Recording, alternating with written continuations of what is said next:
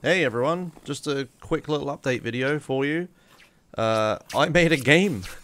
Uh, I know a lot of you only follow for like San Andreas and all that sort of stuff, um, but I'm actually a uh, graduate in game development, and every year I take part in my university's Game Jam Challenge, which is where we try to make a game in like weekday, like Monday to Friday.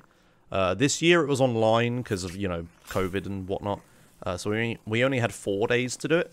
Um, but yeah, but basically, I made a game. I made a Twitch chat plays curling game in four days with me, uh, my girlfriend Emma, and some help from chat. A lot of testing and some audio and stuff. Uh, so yeah, if you guys want to go play it, it's being streamed live 24-7 on my uh, alt account, so twitch.tv slash botimuz.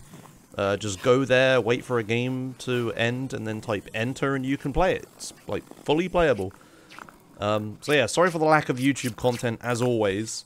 Uh, we have a big backlog of highlights to come out and stuff, uh, which Emma is working on. Um, but it's been like a crazy few months for me, like the amount of stuff I've been doing. Like, like uh, here's a list of some of the stuff I've done. Uh, I made a game in four days. Uh, I've been working on the Botimuz chatbot on my Twitch channel, like really hard and making that really good. Uh, I'm now part of a podcast, the Bruffy's Choking Hazard podcast. Uh, I obviously do the Sunshine Autos iRacing League broadcast, which I post here to everyone's delight.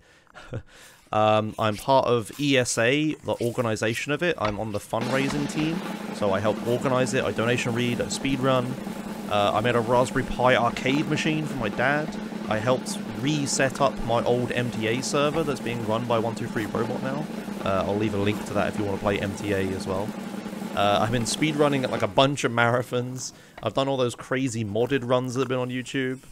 Uh, yeah, and there's been a whole bunch of games and stuff I've been playing, like Half-Life Alyx and Minecraft and Pokemon and stuff.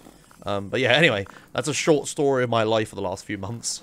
I don't think I got everything. I'm probably missing stuff. But anyway, anyway, that's not the point. I just want to say sorry for the YouTube content. But look, I made a video game. Go play it. All right, bye.